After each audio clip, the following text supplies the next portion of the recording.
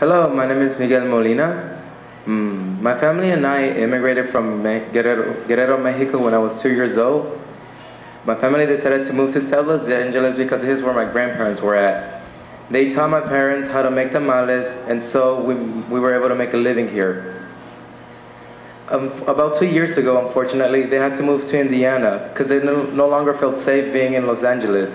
They were being threatened by a gang, and so in order for them to find safety, they decided to move.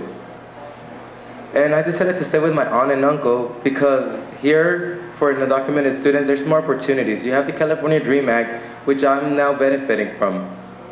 One of the issues that I would like to tackle in Reporter Corps would be, um, uh, would be, sorry, um, let's see, how, yeah, sorry, it's how do we, how, how do we make Park a much more safer environment for the youth, for, in order for the, in order for them to be attracted to after-school programs.